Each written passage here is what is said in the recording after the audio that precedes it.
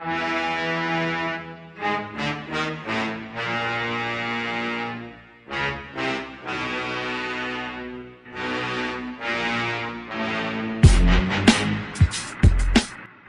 and gentlemen, thanks for tuning in to another episode of the Big Jiu Jitsu Show. And before we get to our interview with Joshua Cooksley, what I wanted to do was go over some of our sponsors, talk a little bit about them.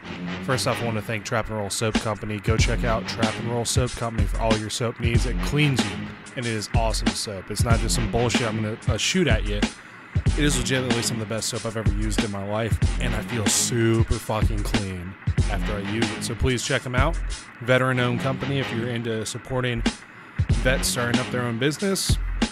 And uh, don't forget to check out Tape Armor. I know a lot of people are arguing over who has the best tape. Well, in my opinion, it's Tape Armor because I've used it for a good while now. And my fingers, you know, I used to get those old crinkled hands, like, you know, the old monkey claw looking type thing. My fingers are doing a lot better than they used to. So I'm really thankful for Tape Armor and their, their product. It's really helped me out a lot. And I also wanted to thank PR Performance and Angry Joe Coffee. Those are two great companies you guys should support as well. Now we're going to be getting into our interview with Joshua Cooksley. He is a third stripe or three stripe brown belt out of Sunshine Coast, Australia. Cool fucking dude. Has a really really good insight into Brazilian Jiu Jitsu, even though he's kind of on the young side, but who the fuck cares? Because guess what? He's fucking knowledgeable and he loves the sport. So I really do hope you enjoy this. Don't forget to go to bjjshow.com, find some of our old episodes, buy a shirt, buy a patch, and go to iTunes, subscribe, and you know hook us up maybe with a five star or five star review. We, we're really appreciative of it. So hope you enjoy the interview, and I will talk to you guys next time as well.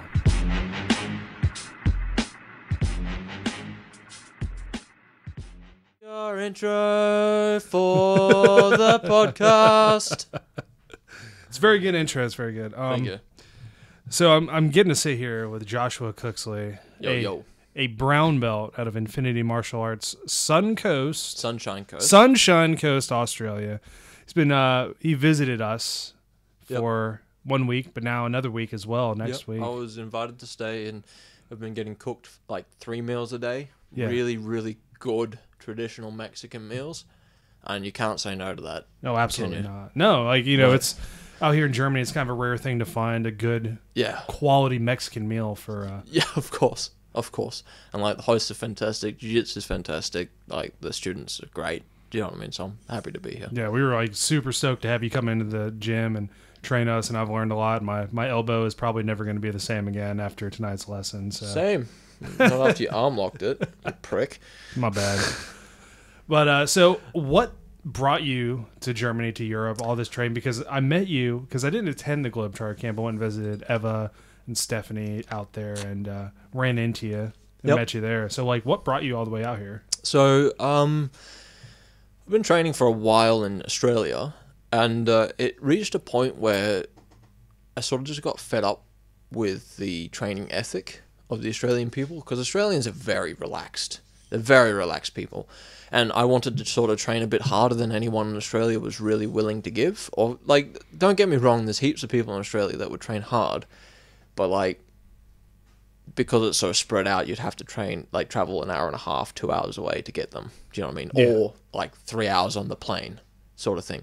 So what I wanted to do is I wanted to come to Europe where there's like even better guys again, and a room full of them, and I could stay like ten minutes walk away and come to a room full of hundred guys that are just better than I am and train hard. And uh, so I attended the Globetrotters camp, and then I met Eva, you know your your your uh, co-pilot Cohort. Yeah. and uh, she invited me on over to Germany, and I thought, well, that's a pretty cool opportunity, so here I am. Excellent. And you know what? That's that's something. So when I went out, I actually got to go out with some of the group on Friday night, and that kind of spoiled me. I was like, "Fuck, I gotta get involved with these guys." You know, it's always been like a like this that past week of work. Yeah. like you're gonna be the only guy there really that's in charge, so I couldn't go and bummed me out. But Of course. especially after going Friday night, I sat down at work earlier this week because we came back on Monday. I was like, "Hey, um, do we have anything going on in January?" And he says, "No." Why? I was like, "Oh, I'm going to Vienna the first week."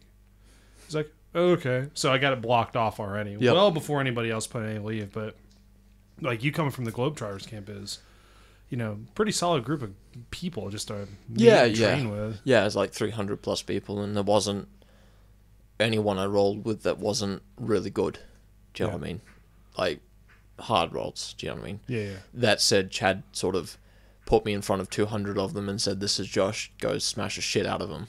so everyone was smashing the shit out of me. It was good, good experience. Bit tired now though, um, so it's good to have a, a bit of a lighter week. Do you know what I mean? Not not training with some black belts every every day. Yeah. Um, uh, but the week after next, I'll go to Paris and get back into it. Excellent. So we have like up to the point now of where you've been in jiu-jitsu. Obviously brought you to Europe. Yep. Train in Australia. How'd you even get started? Um, I've always wanted to do a martial arts, and this is going to sound so fucking dumb, but it's actually the truth. like, I, I've always wanted to do a martial arts, and Mum always said no. And then I went and turned eighteen, Yeah. and we moved down to the Sunshine Coast from Townsville, which is a fucking hole. Never go there. Never go there on holiday.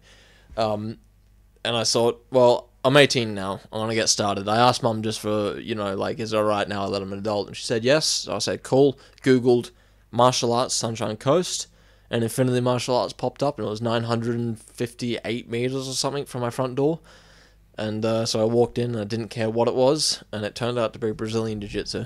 Very nice. I thought it was like the weirdest thing I'd ever seen in my life, and but I thought I'd give it a go, Yeah. and I really enjoyed it. And you know, four or five years later, here we are. Wow. I was gonna say like that's that's one of the funny and most off-putting like it off puts a lot of people Of course, to uh, like those guys are hugging each other and yeah, wearing pajamas and they're rolling on the ground. Like that is the Yeah. biggest thing. And you know, it's it's really cool that you're at least open minded enough to be like, who who the fuck cares? Yeah, like I'm course. gonna take it. Yeah, of course.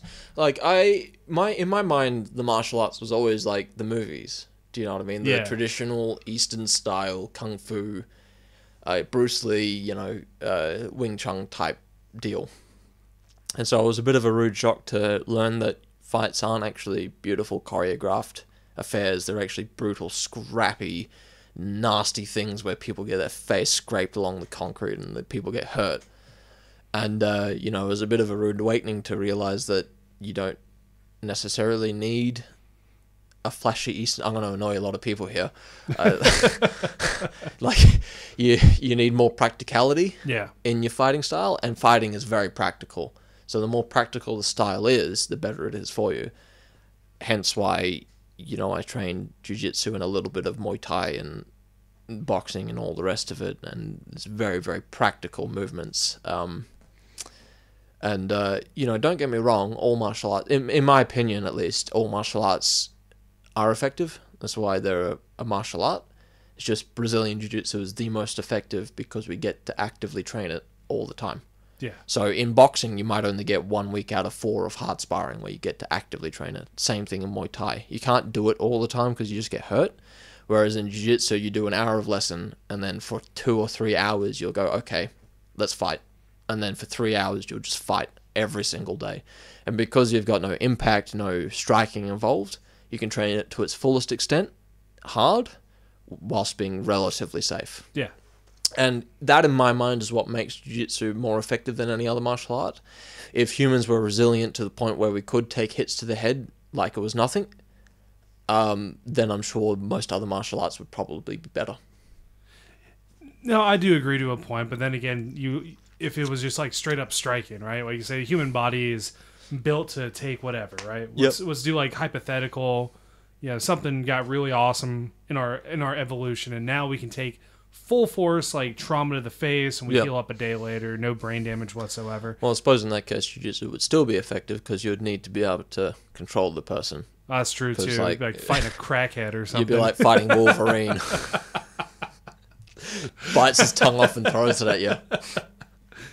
now imagine one of those dudes on like PCP or oh, something. Oh, yeah. yes. Shoot them four times in the skull and they don't flinch. Yeah. So actually, that does. You know what? Fuck that question. It was a terrible question. let's let's retool it then. So like, so I think like if it was just all striking arts, let's say like grappling never existed, like you Okay. know, it'd still be like some sort of like, oh, my style is better than yours because it's more Oh, of practical. course, one hundred percent. That would that there would always be that because people get attached to things, don't they? They do. They intrinsically say my way is better, and so if I happen to stumble upon boxing instead of kickboxing, I'd say no, be a purist, go boxing Yeah. because like the more you learn how to move, kicks don't matter because I'm better with my hands, and you don't need kicks at that point. Whereas a kickboxer would say, well, kicks are really devastating. So you, you you throw kicks in there and it hurts a lot and you'll do a lot of damage. My way is better. And then you've got a guy in Muay Thai that says, look, I do a slightly different variation of kickboxing. I throw elbows in as well and it's even better again. And then, you know, the boxing guy would say, well, elbows are useless if I stay outside of your range because of my footwork and my hands. And there'll always be that disparity. There'll always be like, no, my way is better, no, my way is better. It's just human nature. Yeah. 100 Nobody wants to be wrong. no Nobody one wants to be wrong. No one wants to. Well, not so much that. It's just no one wants to not be right.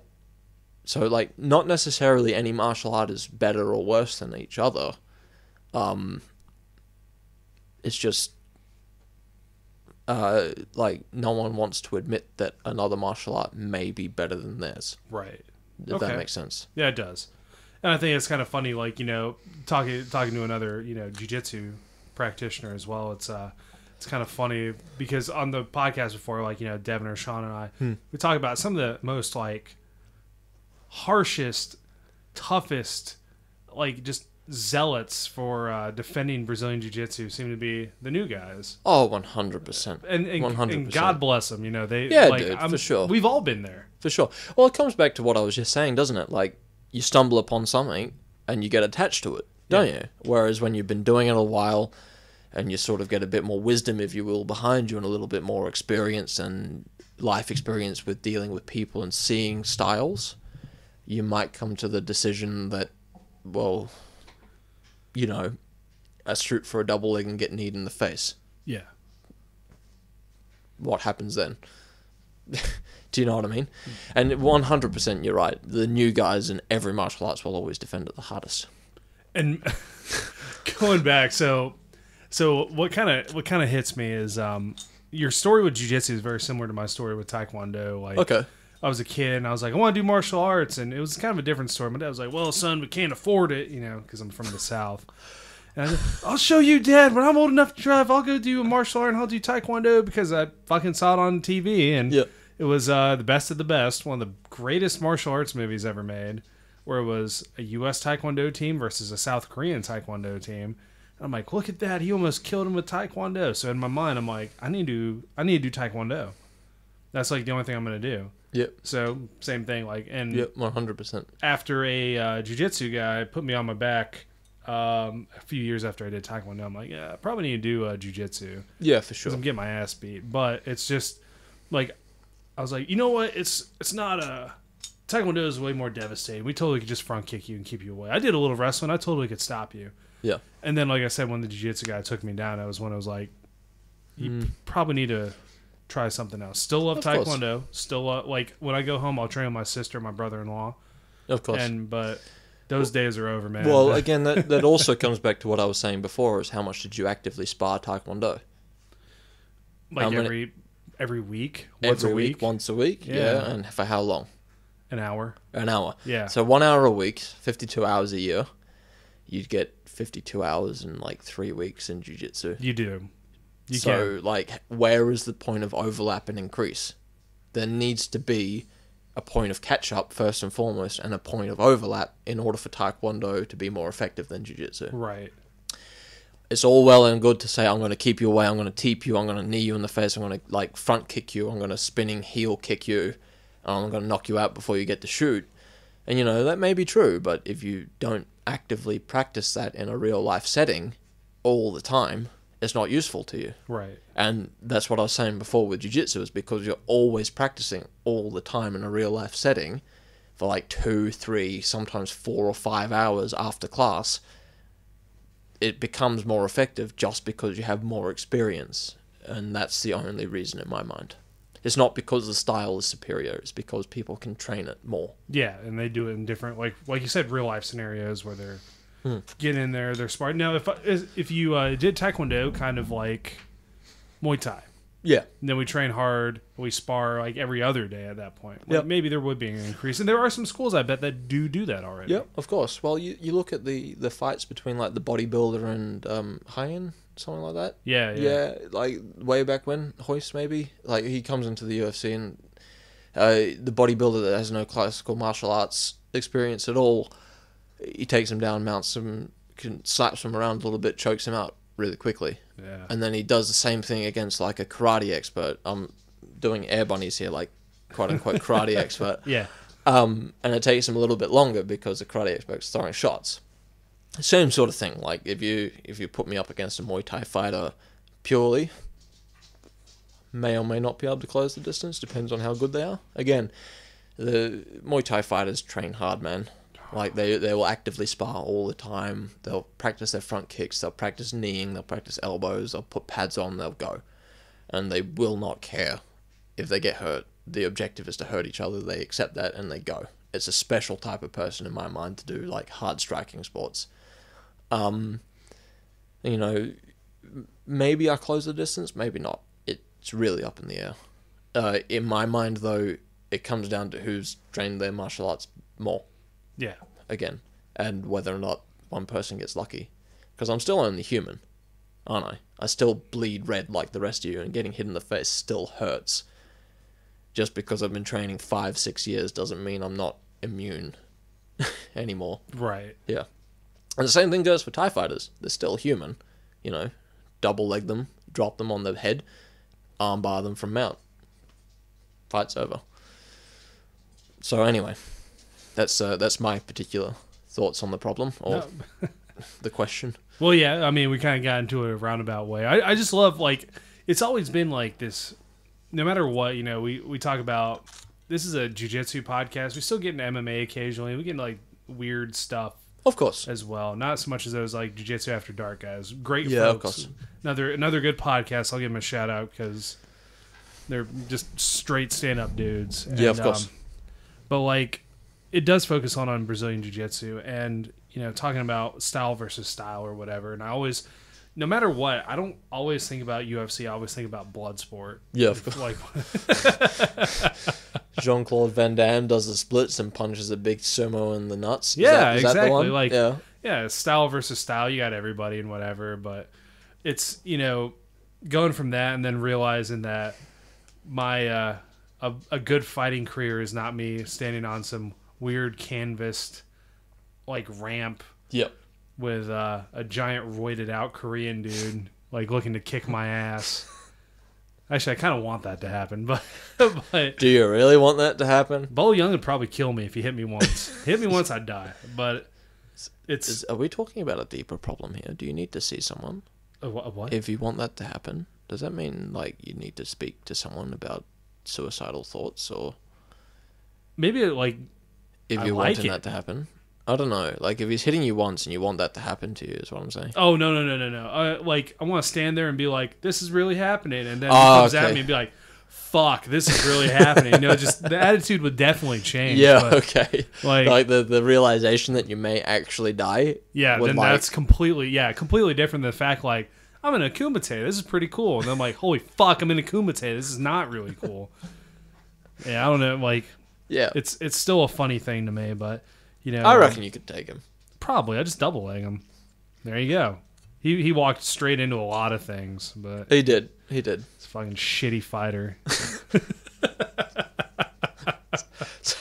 We are talking about a movie. yeah, we are. Yeah, that's true. And um, and I think also because we also, have, I know we're. I, feel like a lightweight. You know, we're we're drinking a beer finally after training. This is pretty yeah. good. Like this is good beer, man. It's much better than anything you get in Australia. To be fair.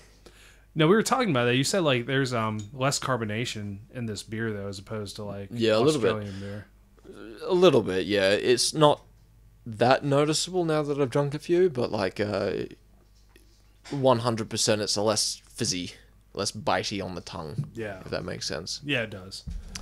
But Like- it, it certainly much nicer. It goes down smoother. It does. And uh, yeah, I'm I'm spoiled. Even Amer- well, if you want to call some American beer beer at that, but Bud Light. Bud Light tho- is not I a- love those ads, man. Fuck. No, Like- you, you know what made Bud Light good? And this is like, I think there's a reason they stopped showing these ads after uh, Jon Jones, you know, because Bud Light sponsors the UFC, Yep. right? And for a while, they had the Jon Jones ad of like, there's a picture of him holding a Bud Light with Dana White, Yep. and at the bottom it says, please drink responsibly. And this is like weeks before Jon Jones wrecked his Bentley drunk driving. so like Bud Light's a good party beer. Bud Light's a real good like you know Oh, that's like I'm kind of dehydrated. Let's let's move on to something else beer. But um, I want to at least set something straight with the listeners as far as Australian beer because back in the states we have Foster's. And Yeah, this might be a sore subject for for the Aussies, but it's when they the tagline for Foster's is Foster's Australian for beer. Okay. Truth or not? Yeah. Yeah, it depends if you're rich or not, doesn't it? Like most people in Australia probably fucking haven't heard of Foster's because they're too busy getting pissed on XXXX. You know what I mean? Foster's is like a rich man's beer in Australia. Really? Yeah, like anything that's not fermented donkey piss is like a rich man's beer. Wow. Not really. Australians don't care. Australians don't care. They drink anything, anything at all as long People as after my own heart. Damn. Like, Yeah. that's that's Like this, what we're drinking now. What do you call it? Das Helle. Das Hell. This would be like exotic, man. This is exotic beer, and people would fucking murder each other for this in Australia. Wow. Um, but yeah, Foster's is pretty popular, I would say. Do you know what I mean? At least it is for where I am. Yeah. yeah. Uh, I can't really speak for 27 million people. It's probably like a few Australians saying, "Shut the fuck up," especially like people that know me, that know Yeah. that I don't drink that much, Yeah. and they're like, "Yeah, you're a dick." Well, I mean that's understandable. So like uh you know, back home we have all the the big ones. You know, you got your Coors, you got your Bud, you got your Miller. It's of just, course, just all depends, and it's just 100. percent like um now the the big thing in uh in the states is craft beer. Yeah, okay. So everybody loves craft beer. Everybody gets real fucking pretentious about it too. Like of course, because it's a pretentious beer. it is. Oh, I'm crafting beer.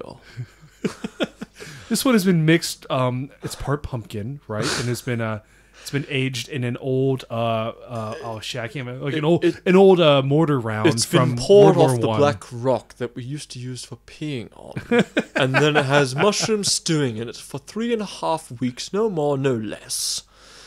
But the thing is, though, like for the amount of people that come over to my house and like get something to drink, like the Yeah. short fridge we have here is just like fair game to anybody who comes over. Of course. I might just start brewing beer myself, but keep it real simple because it's You should put beer in that water cooler of yours. that would actually be a good idea. Like, I reckon that would be a good idea. It's what, 18, like, five gallons? Five gallons. Five gallons, 18.9 liters, thereabouts? of beer. Yeah, of beer in a, in a water cooler. And you just press the tab, it flows out, and you're sorted. Done. I You prob- gotta do it. I'd be the most popular dude out here, probably. Look, you can even like brew your own beer in those five gallon drums, You could. and so you're not gonna you're not gonna lose carbonation when you like pour the beer into it. yeah, it's no, already in there. not. Yeah, it's just seal it off and just Yeah, hit the tap. Wow, do it. like real. I charge you, sir. All right. I charge you to brew beer in a five gallon drum, and put it in your water cooler. Chelsea's gonna kill me. You know that, right? It's like, what the gives a fuck are you doing? Like, well, I'm making beer in a in a Culligan cooler. Just Like, blame me. She hates me anyway. She does not. I told you. She said. She said that um, I like Joshua because he's the only person I've met so far that gives it back as much as I give it. Words, I words, words. that needs some context. Yeah, We're talking about banter here. Yeah. We're um, you know what? I'm I'm not into that whole thing. We're not swinging. We're not Josh, you're a swinging. good guy. I just like to watch. Is that cool? Like, I'm in the closet and you do your thing, and uh, I'll tie a film it tie too. around your neck. Yeah. looking through the closet slats. yeah, this, it's like this is really good, but Rob's breathing. Fuck me, that's getting distracting. Josh, go slower. no, it's. I mention this podcast is not edited, and it's definitely not for. We actually this is, had we this actually is not suitable for work. we actually did have a um a guy asked to have his ten year old son on the show. Oh be no! interviewed, and I was like, "What the fuck, man? Like, have you ever listened to an episode of this, of Have this you? podcast?" Do you want him to lose his innocence and or virginity? uh, well, whatever, man. He's like, well, he. So, so that's the thing too. Like, I know there's a lot of kids out there that are super, super, super talented. Yep, Some course. killers out there. Yeah, like um Benjamin the other day gave him his green belt. Oh yeah, or Brandon. Brandon. Yeah, Brandon, yeah. Sorry. That's close enough. It's B name. Yeah, it's close enough for agriculture. Yeah. So Yeah. like, you know, there's um, I don't know how it is in Australia, but the states seem to be like if your kid starts getting good at jiu-jitsu, Yeah. the most popular thing to do is to whisk him up or her, make a GoFundMe account for them, Yeah. and pimp them out to every and anybody you can, like company wise. Um, look, I'm not sure how your sponsors work in America, but because jiu-jitsu is such a small scene, we have like the major company Hyperfly, Yeah. and basically what happens is as soon as you start doing well, like even remotely well, win like 10 comps in a row sort of thing, they'll give you a sponsorship. Oh wow. That's Pretty really much. Cool. Like I'm not sure how that works because I'm shit and I don't win. Um, but like, Stop. You're really good. You are really good though. Thank you. like, Thank you. That's very kind of you to say.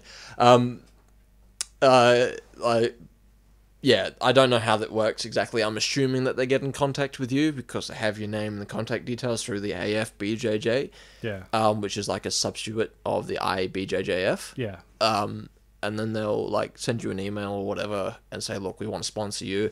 Keep going to competitions where our wear our gear, and then like maybe if you do well, we'll send you overseas. Sort Wow. of thing. Um, other than that, I'm not really sure how you go about getting sponsorships because it's not that big a sport in Australia yet. Just it would be much bigger in America due to the UFC.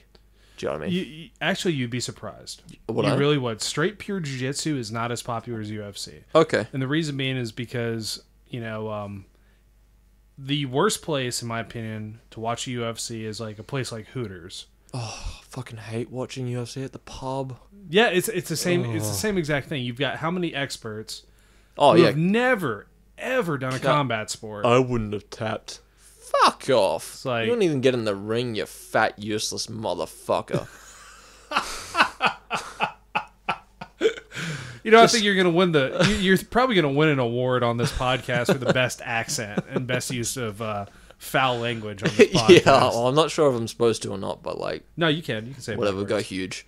Yeah. We'll go huge. No, we're a podcast. We don't, we don't edit potty words. Yeah, okay, say. good, good. Because like, guys, just just like this is an unpopular opinion, but if you don't know what you're talking about, shut up. Yeah. Like, genuinely, it's okay to enjoy it. It's okay to have an idea, but like, as soon as you start saying shit like, "Oh, you know, it's not that hard. I could do it," when you haven't actually done it, if you haven't actually given it a go and you don't understand what it actually takes, shh Yeah. just like that's going to cause probably a lot of hate but i'm of the opinion that like if your opinion's not actually valid it shouldn't be weighted as equally as someone who is so your opinion on ufc shouldn't be as weighted as equally as like fedor or conor mcgregor or uh, even ronda rousey or dana white yeah Yeah. mine shouldn't be weighted as equally. You know, I tried the whole striking scene, and I figured that, you know, it would be fun to get get in and give it a go and have a few rough rounds with the lads. And then I got kicked in the head, and man, was that rough! Yeah. Like that hurt. And I thought, you know what? Maybe not. Maybe not. Yeah. And I gave it another go just for like giving it a go, the good old college try, as you Yeah. Americans say. And then I got kicked in the ribs. Ooh. And then I got kicked in the head again. And I thought, mm, maybe not. maybe not. Yeah. And, you know, like, it. I can't watch it at the pub. I can't watch it at the pub anymore because you got too many people that don't even train jiu jitsu. They've never even, you know, they don't even go running. They. they, they sit on the couch and they think they know. And they have, like, an expert opinion on it. And they just don't know. Um, and it, it, it I just can't watch it anymore because like you know Conor versus Diaz won he got choked out and he tapped out and so many people said oh I wouldn't have tapped out I would have gone out well until you've been to the point of exhaustion and you've got someone as good as Nate Diaz on your back choking you pressure in through your lungs and you can't breathe and everything's going dark and you've already you're in pain because you've been hit in the face you've been kicked you're in there alone they've got no support no friends nothing else matters no one's shouting at you you can't hear them at all and then you're getting choked and you're tired and all you want to do is give up man tapping out seems like a good option to me Yeah. do you know what i mean especially if you're going to go out especially if the fight's over and you're not No Like- shame. it's no shame at all. Like he's Conor McGregor in that situation was better than ninety nine point nine nine nine nine nine percent of the population, the guys that didn't get in the octagon. Yeah. You know what I mean? Yeah, and that's And, why like- I absolutely hate it. Is what like going to as an absolute last resort. Yeah, I will go. I'll be like, fuck. Like, Yeah, anybody else want to see the fight? No, I'm busy or blah blah blah. Like, yeah, all right, well, course. like two of us. Like, grant I don't want to spend 60 Sixty bucks or dollars to something go. like yeah. go we'll go to whatever and sit down and I remember the last time I watched something it was um a, it was like a it was like a Hooters it Yeah, was of in course. um this small town Sierra Vista Arizona where I trained for a bit Sure. and um it was Miesha Tate versus um Holly Holm Okay. So like a pretty no good no fight no no then. wait I take that back it was Miesha Tate versus Amanda Nunes Okay, so pretty you- good fight still anyway. Yeah, yeah, and she got choked out, right? Yep. Or she got submitted. And this dude like comes fucking waddling out of the you know like bathroom area. Yeah. Like looks like he's never thrown a good punch in his life. Yep. Probably has never gone to the ground for anything. Yep. And he goes, "Man, bitch, you got knocked the fuck out." And I'm like. She got submitted. What the fuck? Like, Yeah. I'm just so Like, mad. it- I'm like, it's what just- the fuck. It's a pet peeve. It's a pet peeve of every martial artist Yeah. that's worth his salt. And like probably some white belts still do this, but it comes back to that whole defending your thing and Yeah, like yeah. once you start training and you start understanding the martial art a bit more and you you've been in those situations where it's really uncomfortable and you've mat tapped I've mat tapped before, do you know what I mean? Like Yeah, I mat tapped just the other day. Um, there's no shame in me admitting that I, I gave up because I got scared in the roll. I got tired. I was pushed to my limits. I was being smothered. I felt like I was drowning. Um, and it's so easy to take the option of just, okay, I've had enough. And you know what? I got yelled at for it by my coach, and I haven't done it again. Um, but like it, I, I, I have no shame in admitting, you know, like I got scared and I gave up because it is scary. Yeah. And that is so much worse when you're getting hit in the face, when you're getting elbowed in the face, when you're getting axe kicked in the leg. You know, you're taking shots and it hurts. Um, and you know, like I had someone that wasn't really trying to hurt me. You know, in the octagon, it's a fight. They're trying to hurt you. They're getting paid to hurt you, and you don't have anyone like even though you're getting refs in the corner, uh, refs in the cage, and your your coaches in the corner backing you, and you've got your fans in the crowd. When you're in there, you're alone Yeah. you're alone and it's probably I've I can't speak for this personally because I've never done it. I've never done it. I've never had the guts to do it. Probably one of the scariest things people can ever do. Know? Honestly, wasn't that bad, dude. Wasn't that bad? Was not that bad. Okay. But but I understand where you're coming from because the thoughts of it, like Yeah, of course, the course. thoughts going up to, it, I was like, this dude's gonna try to punch me in the face. Like everything's legal. Like it, it was a pro fight. It was everything okay. was legal. And then I got in there and I'm like, oh shit! Like it's not as bad as I thought it would be. Yeah, But okay. Also was not put out into deep water like some of these other people were. Yeah, of Like, course. It was well, like what happens when you go up against someone that's clearly better than you are? Yeah, and that's the thing. Like, you know, I got very lucky, but I can only imagine. You know, I also can't like for for a first experience, it was not that bad. Hmm. Yeah, of course. Really, it was really good. Well, that's the same way with me in rolling, isn't it? Like I go up against some black belts and some brown belts that I'm better than. yeah, and I don't feel too bad. And then I go up against the guys that train directly under Roger Gracie, and I just get mauled. Yeah. I'm like, wow, this is okay. I understand now.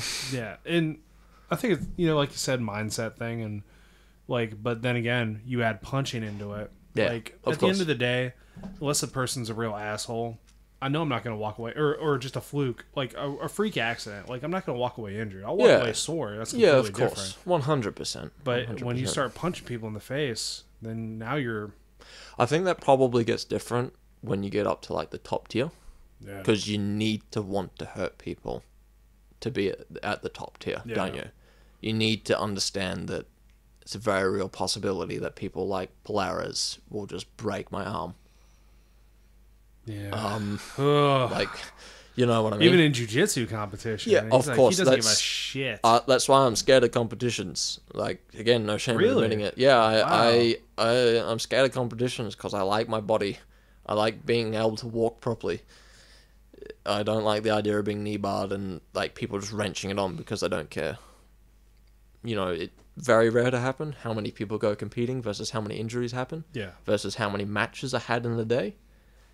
It's probably a very low percentage of injuries, but it doesn't stop the fear, does it? Nah.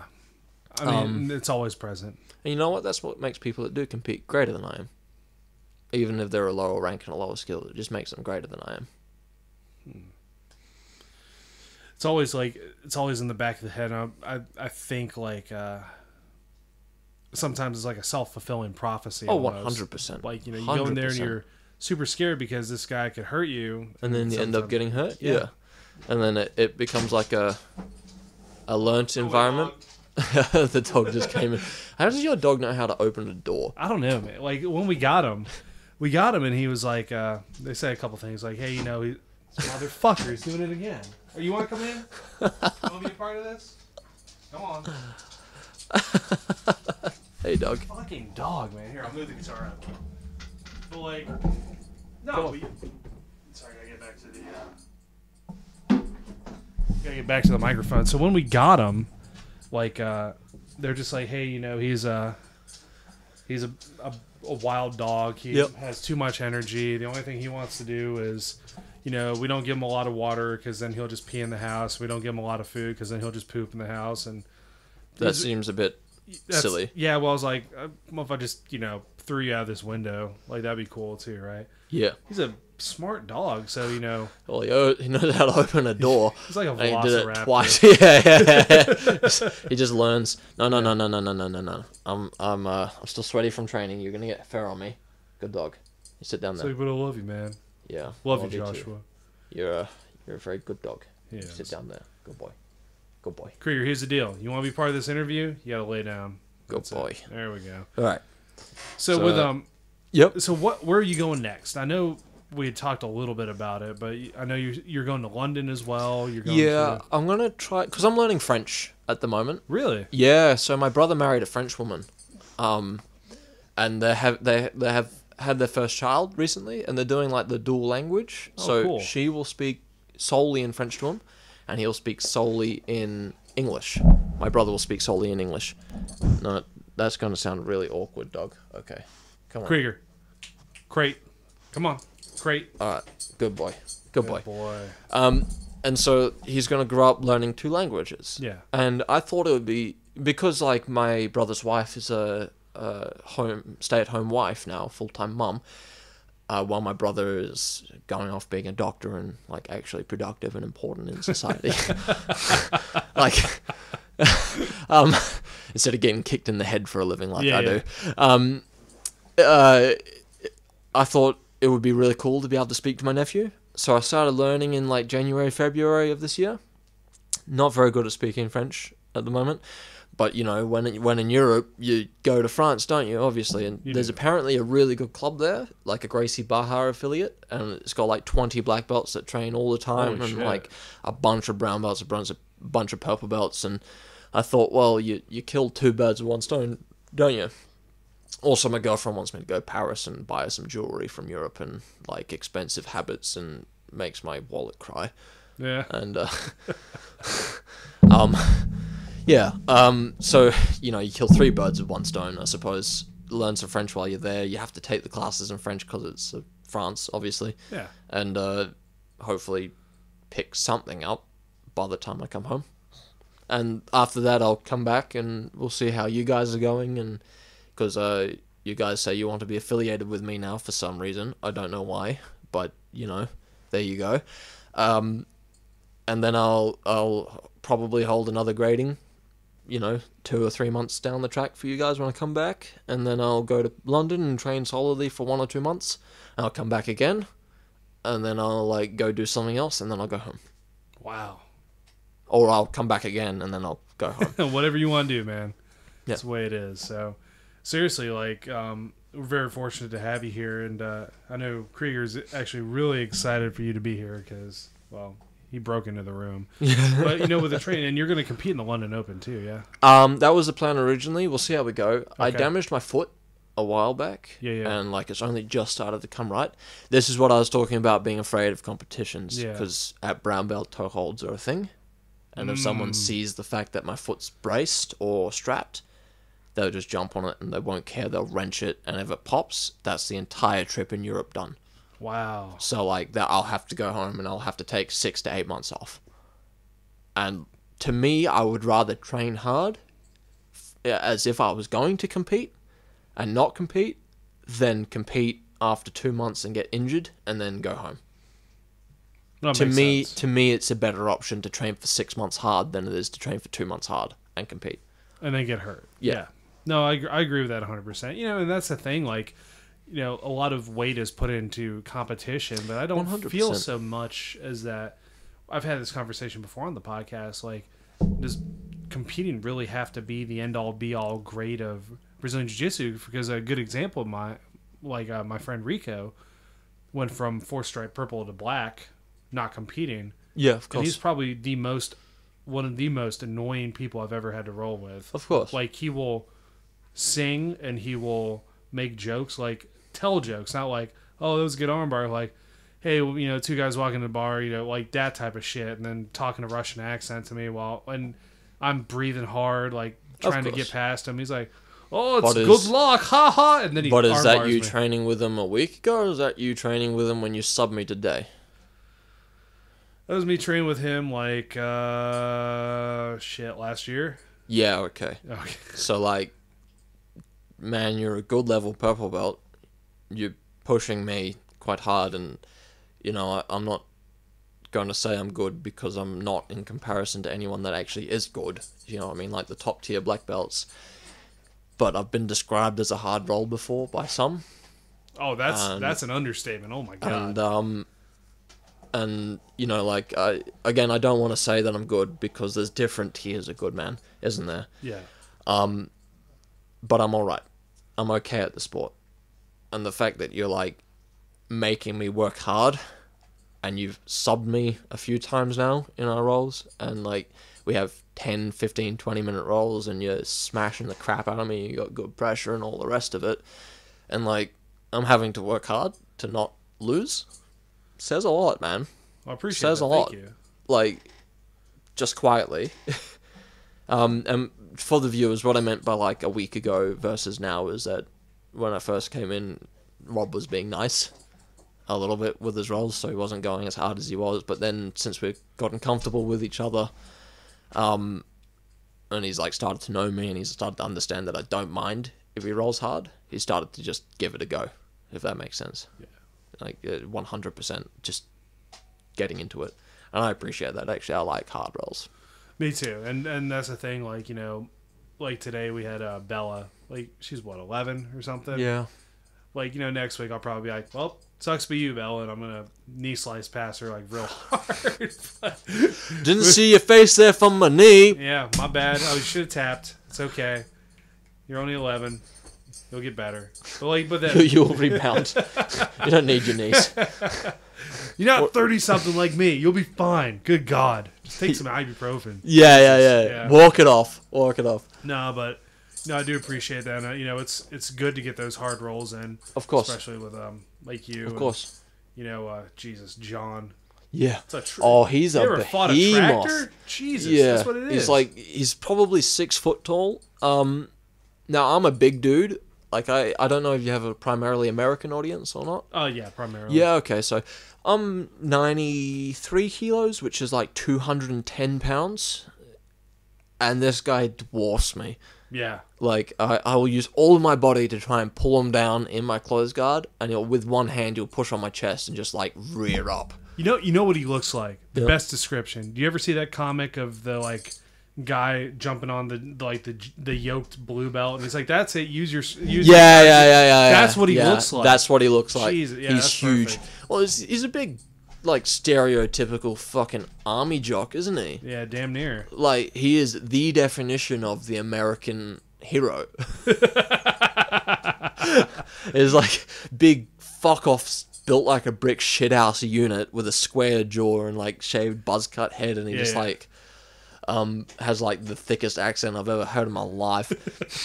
like not south accent but like just thick northern accent Yeah, yeah. and he, he's like, I never thought that I would meet a walking, living, breathing stereotype, but there he is. Yeah, and he's He's God, he's and- so amazing though. He's so amazing. He's a He's good like, dude. I enjoy rolling with him. yeah, I, I like rolling with him. He was a hard roll. I um felt something go on my back today when I was rolling with him. Oh Jesus! Um, yeah, that that goes back to the whole like we don't want that trip to be over. Yeah, of course.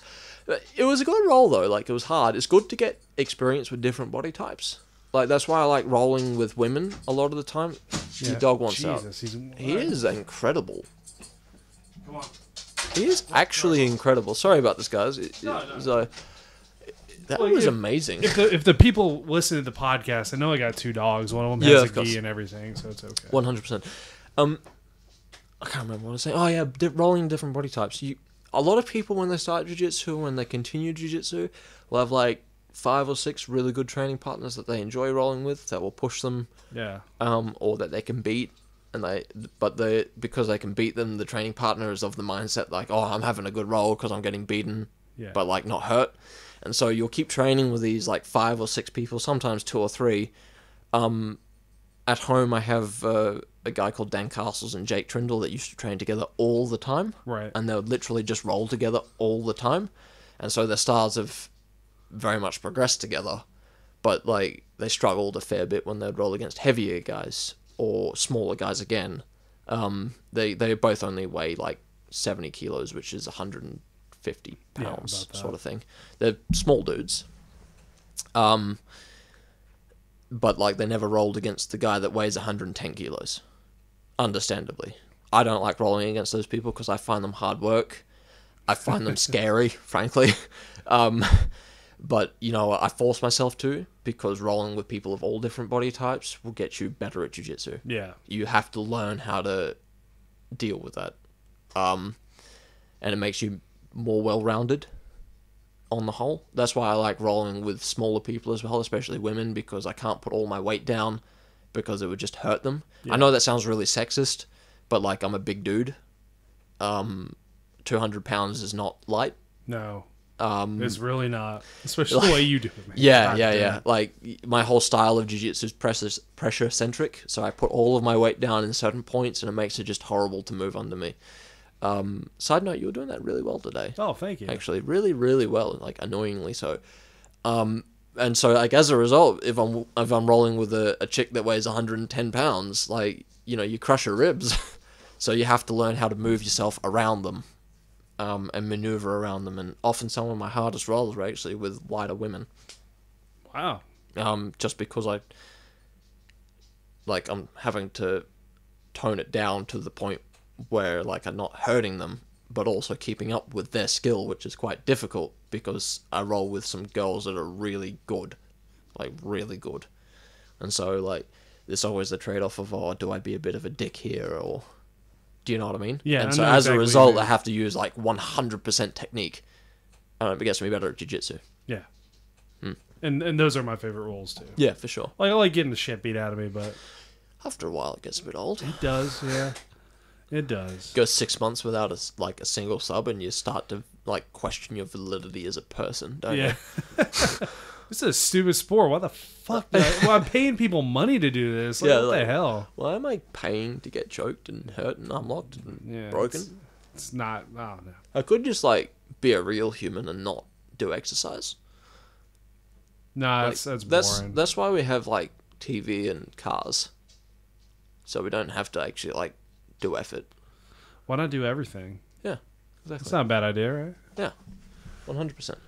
So, so before we head out, Joshua, um, I know you wanted to plug a couple things before uh, we Yep. finished up the podcast. So, floor is yours. Go nuts, man. Yeah, sure. So, guys, like I have a uh, an exercise apparel business called Fatlete Apparel. Now, um, the way that I started this is my mom was overweight when Yeah. she first started her exercise, and uh, she never had the confidence to set foot in the gym. Right. She always thought she would get laughed at by like the gym junkies, the fit fitter people in there. And obviously that never actually happens. Some of like the nicest people go to gym and they're the most supportive of overweight people trying to get going. Never stopped the fear, did it? So what I did, being like a purple belt at the time, is I said, Mum, look, I'll go to gym with you. If anyone says anything to you or sniggers or something, they'll have me to talk to. I promise you it will not go well for them. It will not be a good time. And obviously I would never hurt anyone or even like start anything, but because I know that people are never like that. But to mm. her, it emboldened her to the point where she could go. So I went with her pretty much every day for eight or nine weeks until she knew enough people, she knew enough exercises, she had lost enough weight to go alone. And it got me thinking, what about like everyone else that doesn't have someone like me? What happens with like overweight people that really want to start but just don't because of self confidence issues? So I came up with Fatlete Apparel, Fat Athlete, Yeah, as yeah. like large fitting, comfortable exercise shirts. You've seen them, Yeah. obviously. I'm wearing one right now. lovely. Um, and you've had a had a bit of a look at the shirts. What did you think of them? I think they're really cool, man. Yeah, I do cool. like them. Um, and the idea was like just to get in first, have a bit of a laugh, and say, look, I know I'm overweight. I know I, I could probably be a bit fitter, but you know what? I'm here. I rocked up.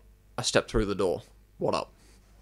And um, so like the idea was to have really high quality, good shirts that were just a bit funny. Yeah. Do you know what I mean? So if you if you guys are interested in that, um, unfortunately we don't have much more than just eight different types of shirts, both in men and women's, because I started it on five grand at uni. Yeah. Um, so, um, so like if I was gonna do like a, a a trial run for every single design that I had and every color I wanted to do and every size, it was gonna cost me like forty grand. yeah. Um, t-shirts and, are nuts, man. T-shirts are nuts when you want to get it going. So I was thinking, oh, whatever. We get a bit of support, then we'll add to it. So the idea is to add like um, more clothing, shorts, shoes, shirts, uh, not shirts, sorry, socks, uh, caps, etc. Eventually. Um, so if you if you like the idea of that, guys, head on over to fatlete.com.au.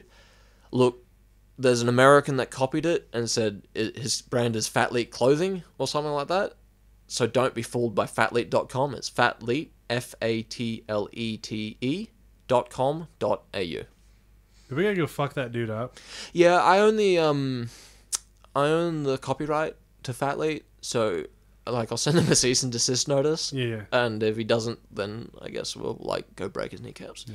Not Go- really.